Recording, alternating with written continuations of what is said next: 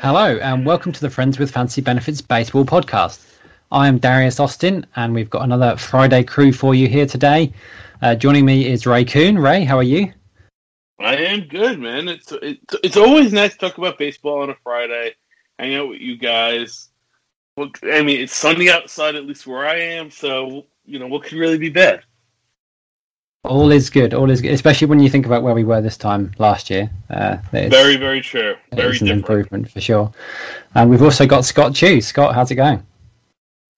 I'm doing fantastic. I uh, I'm you know it's been a long day and a long week with meetings and stuff from work, and this is my favorite break of the week, talking about baseball instead of literally anything else. So I'm I'm thrilled. Well, hopefully everybody enjoys us talking about baseball as much as we enjoy it. Um, and we're actually a whole month into the season. Hard to believe, really, but today is the end of April. So, uh, kind of wanted to take a little bit of a different angle today, a bit of a strategy angle, and uh, talk about how we're evaluating our teams right now. So, I guess uh, I'll, I'll start with you, Ray. What are kind of the things you're looking at right now? Is there anything that you would focus on on your teams and think I need to start doing something about this, or is it kind of a I'm just going to hold fire for a little bit longer and see how things play out. I mean, I don't want to operate on any crazy illusions here. Literally, no, no matter what I say, no matter what you say, no matter what anybody says, from the first pitch of the season, you know everybody's sitting there and checking their standings. as much as we, as much as we say, hey, you know, it's early, it's one game, it's one pitch, it's one inning, whatever one week, two weeks, month, no matter what anybody says, we're all sitting there, we're all checking our standings because I mean that's why you play the game. Unless you're in a dynasty and you're really rebuilding. But even still, you're probably checking the standings in the beginning of the year.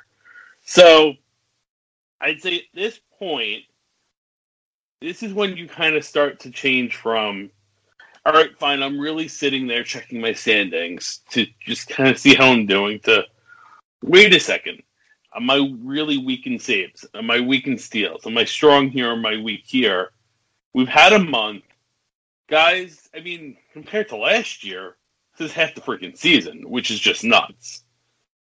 But it, it's I think this is when you really start to look at those categories and say, where am I strong? Where am I weak?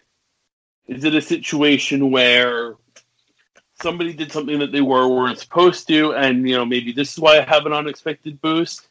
I think this is when you start to really start really think about trades. You know, you've had a few waiver claims in there where you can address shortages from the draft, any injuries, whatever. I think this is when you have to start to really do a hard assessment of where am I as a team and what do I need to do. What about you, Scott? What what are you looking at, and maybe what are you looking at on other people's teams as well, if you are thinking about a trade? Yeah. So the first thing I'm doing is, you know, based. I want to look at my team, and if I'm doing well, I want to see, you know, like doing well is sort of like this patting myself on the back, like good job, Scott. You're a smart guy. You figured this out. but that's not happening a lot, right? So I've got a lot of teams that are maybe middle of the pack, maybe maybe less than middle of the pack first thing I want to do is is try to figure out why. So I've got a couple teams where you know I'm I'm not doing well in hitting, but I've got you know uh, Marcell Ozuna and George Springer.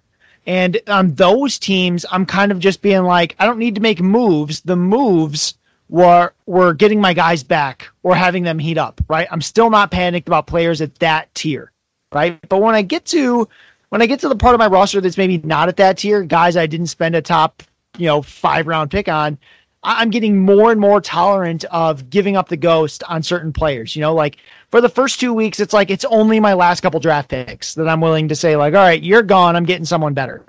Now I'm at the point where I'm starting to look at like, if you know, if this is like a 12 team league, if I don't think you can be a 200 play, a top 200 player from this point out, you got to go. Right? I can't wait any longer. It's time for me to move on because so many things have happened. Right? Um, we're starting to hit, we're really starting to hit that critical mass point for players we loved in draft season, but that just haven't done anything yet.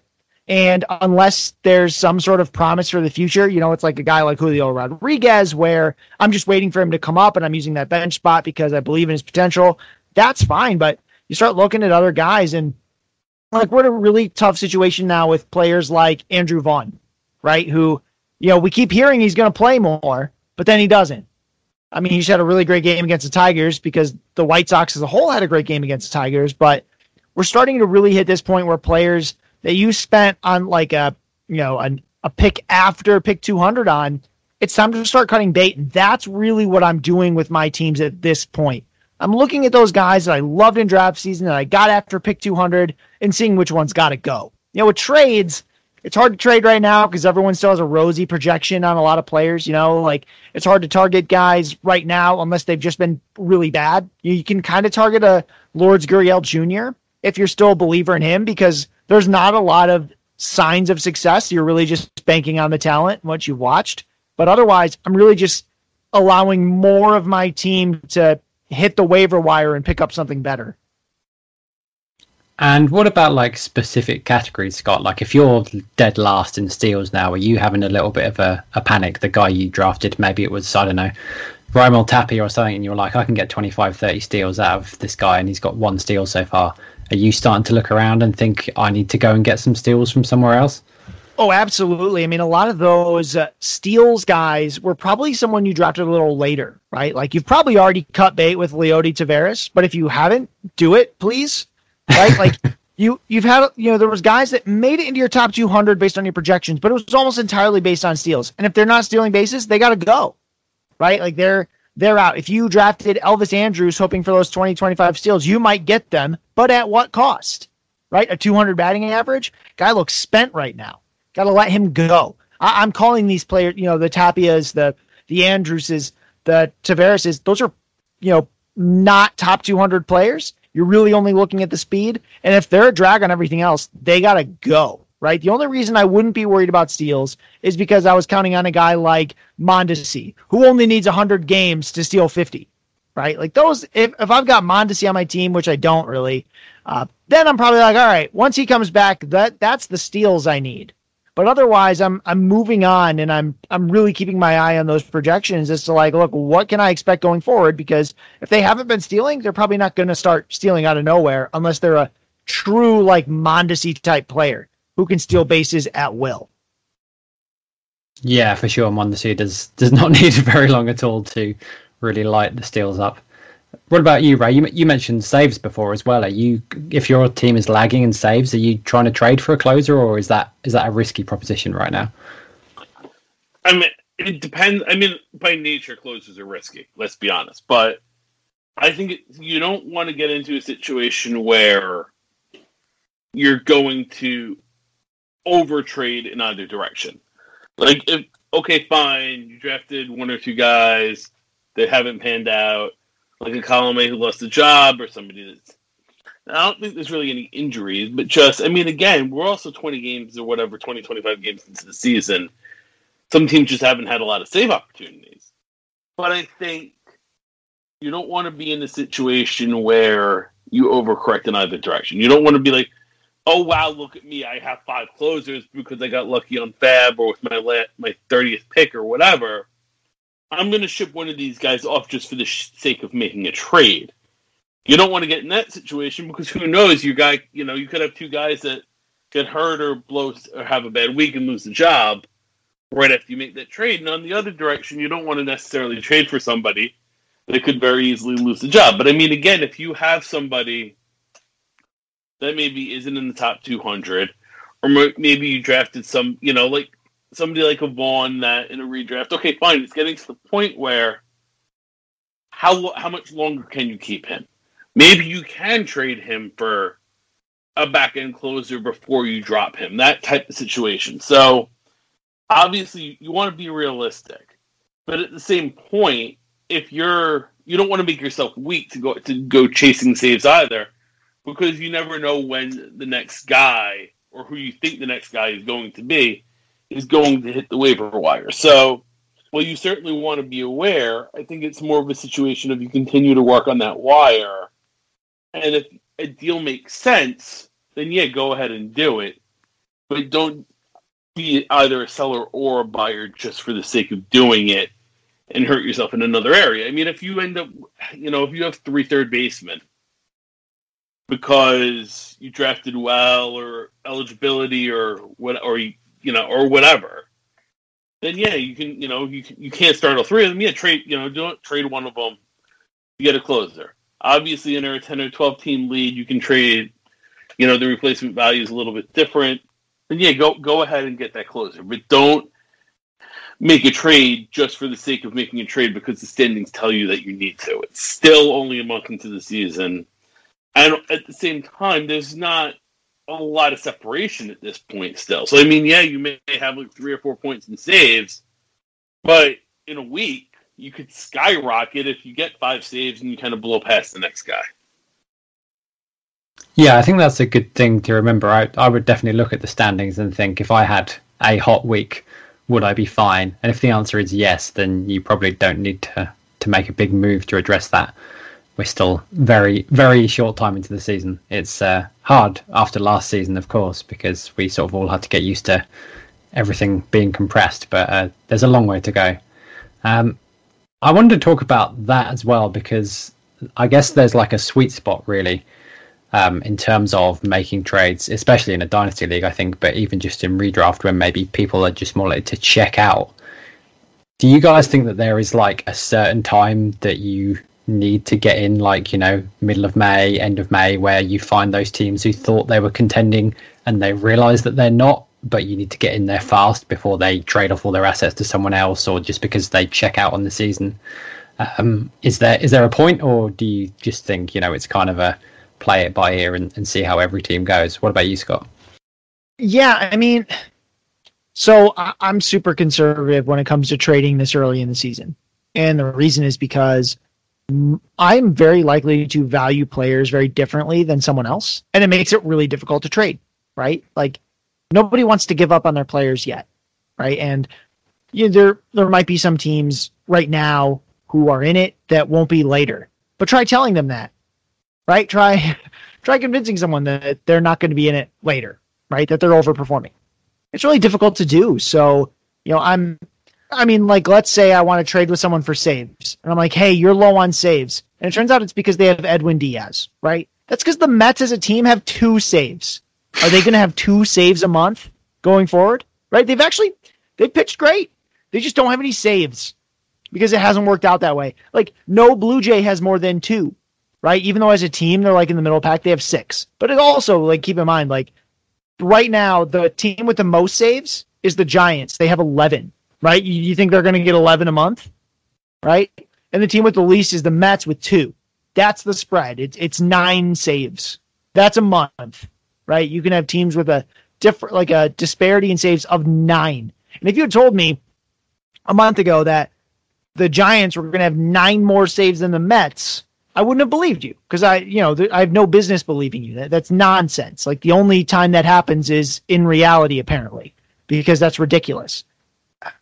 I, I hate to just do this because it feels like such a punt, but I have a really hard time trading right now because people don't one, people don't want fair trade offers. I can't tell you how many offers I sent for my Carlos Santana for their Dominic Smith that got rejected. Right? Despite the fact that on paper, Carlos Santana has been worlds better. It doesn't matter because, you know, Dominic Smith has great X stats, so they're just going to wait. Uh, so I, I, I kind of like just don't try to trade much right now uh, especially because I don't think anybody's going to be all that reasonable yet.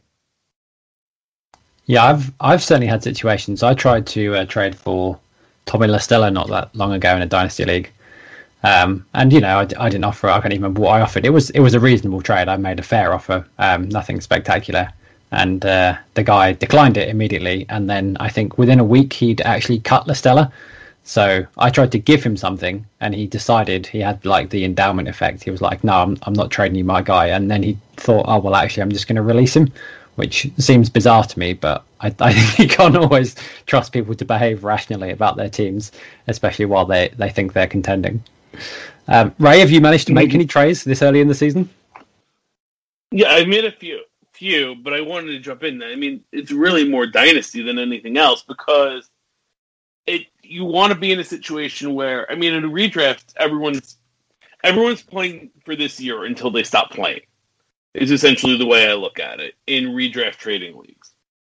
In dynasty leagues, obviously the expectation is yeah people are going to be around all year, but I mean not for nothing. if you're a rebuilding dynasty team, you're really only going to be interested if you have pieces to sell that are going to get you future value that is going to help you when you're in your contention window when the guys that you're trading are going to help you and to hop on FAAB every once in a while. So in the Dy- plus dynasty league, you have your you know you have your buyers, you have your mid tier that kind of okay, fine. I don't necessarily know what I want to do or what my team is capable of doing, so I don't want to rush in either direction and make the wrong mistake. And then you have your tankers or your bottom feeders that know, hey, 2021, not my year. That being said, those teams have a finite number of pieces that you can acquire. I don't want I don't want to make a deal just for the sake of making a deal to beat out my competitor. But at the same time, if I can kind of snuff out, hey, maybe I have a weakness here, or hey, maybe there's really only three or four sellers and they only have X pieces that I'm interested, I want to get those guys first. Like if I go into, you know, if I'm going into 2021 saying, hey, I'm competing, I'm going to bring home the chip, this is it. Essentially, your draft picks are trade chips, but some of your prospects are going to be trade chips. What, you know, you're better off expending them now than maybe waiting to May, June until the second or third place team says, wait a second.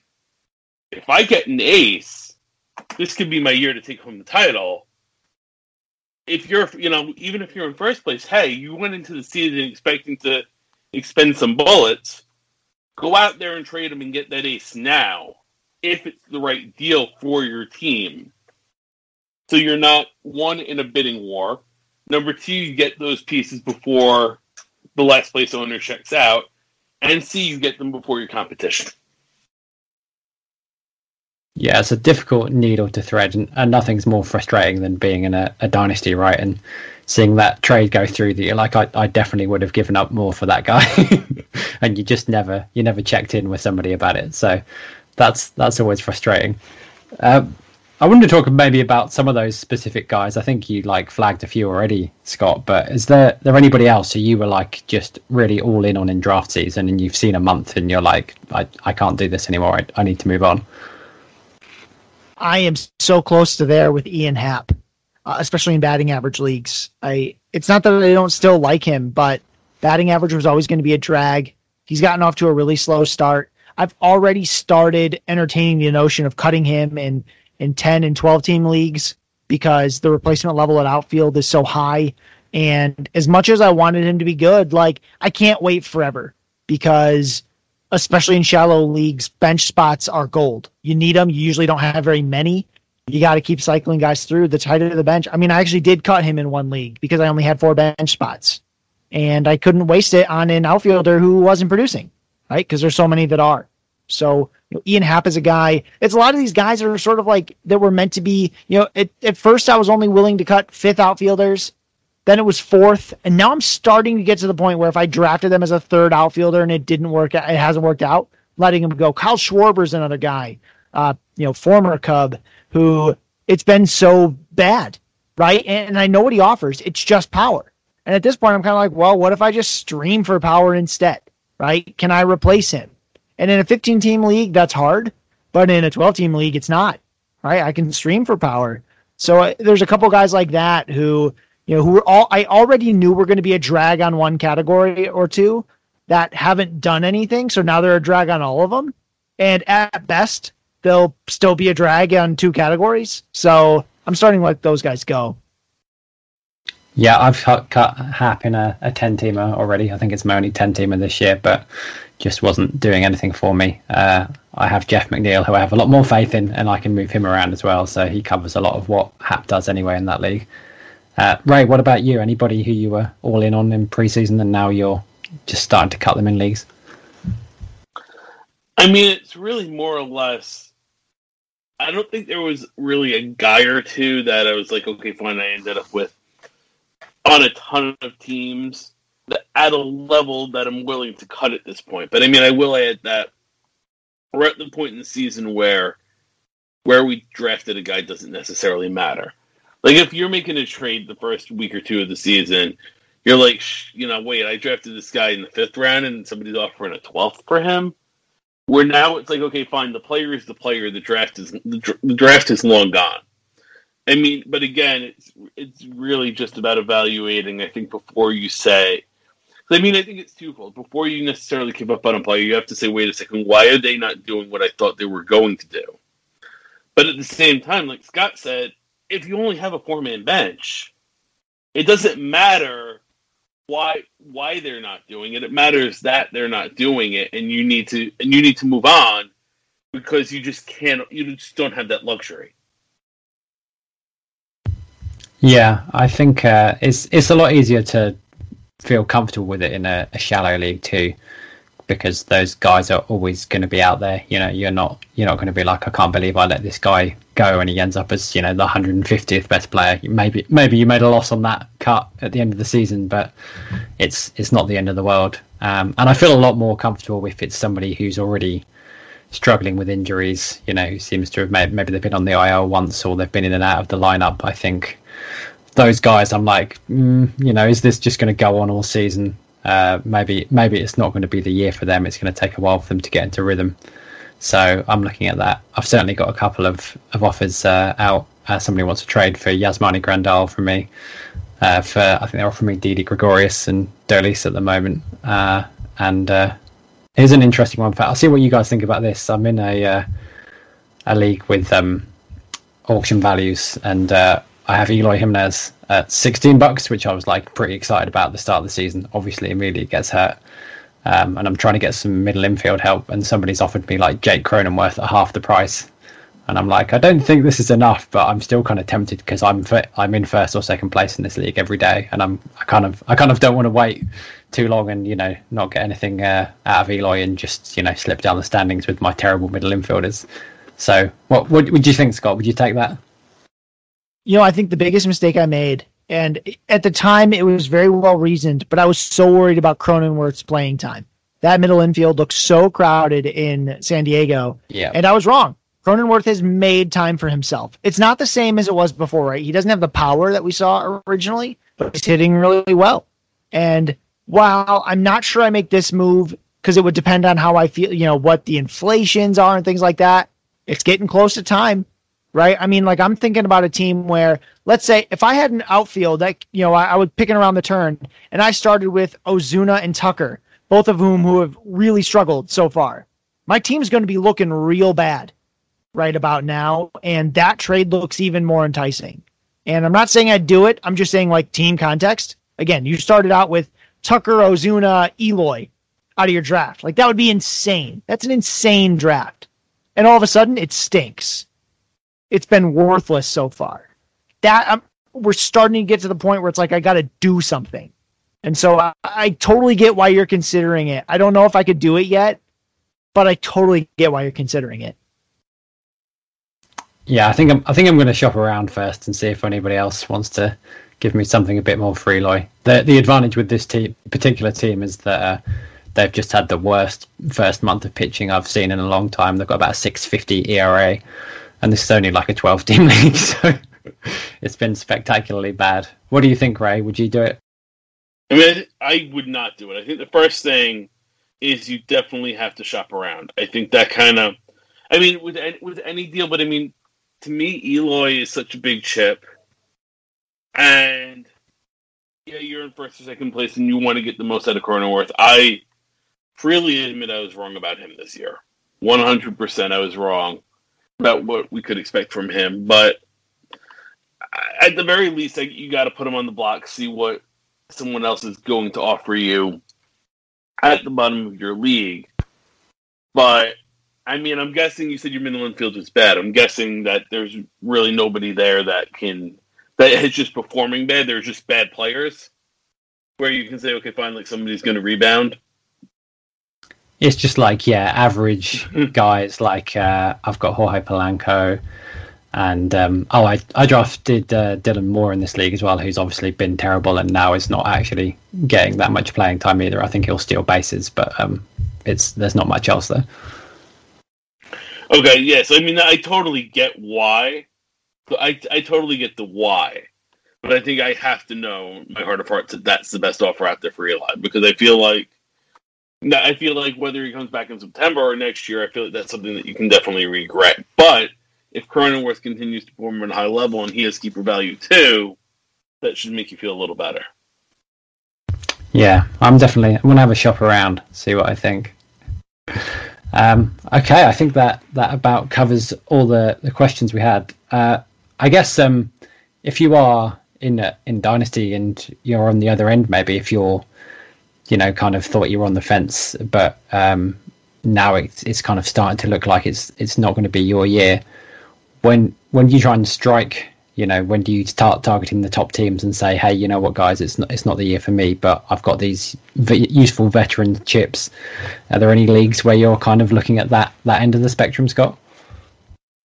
I mean yeah but that's not a change from where i was before right? Most of the teams where i'm thinking like oh i better sell there were teams that were already like the only way i compete is a miracle and the miracle didn't happen right so i mean again we've learned a bit about what's going on right now, but there's a lot we don't know yet. There's a lot of guys like, you know, I mentioned all the guys I would cut, but like I, I probably haven't cut Lourdes Gurriel Jr. yet. And by WRC plus, he's been the fourth worst hitter in baseball.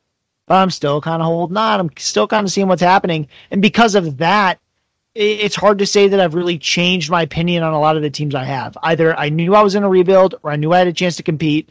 And if I if that part I believe, you know, if I believed it in you know on April 1st, I probably still believe that now unless like several catastrophes have happened. Yeah. What, what about you, Ray? Anywhere that you're thinking that you might be might be time to sell up on a team that you thought could contend?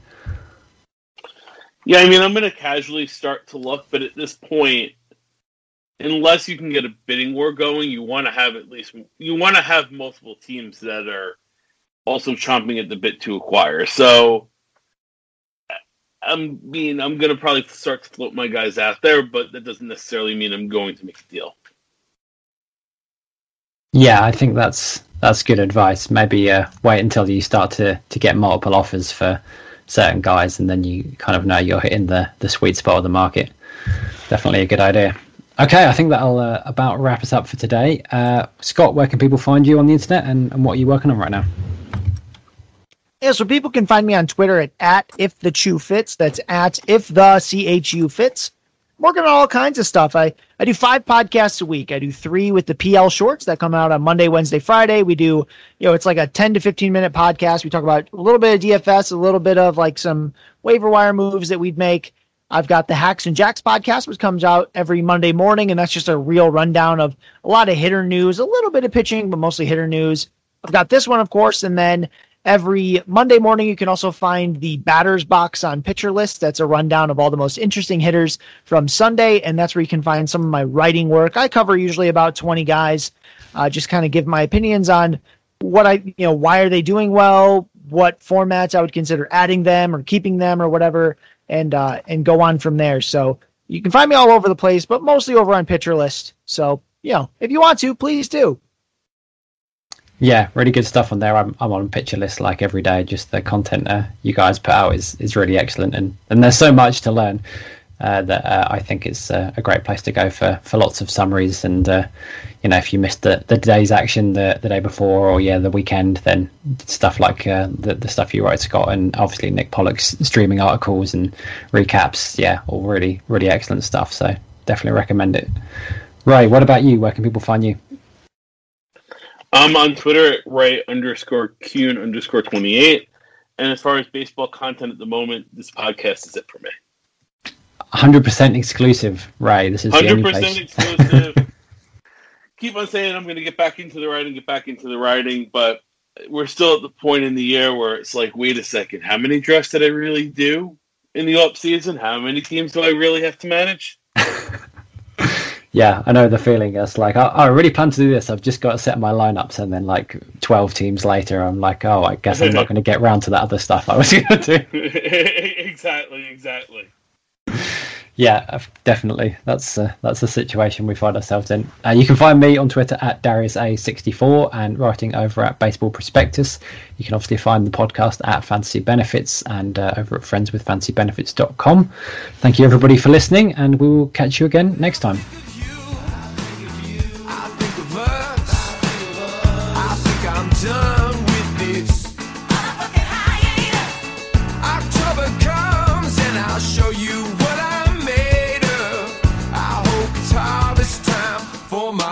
Of labor.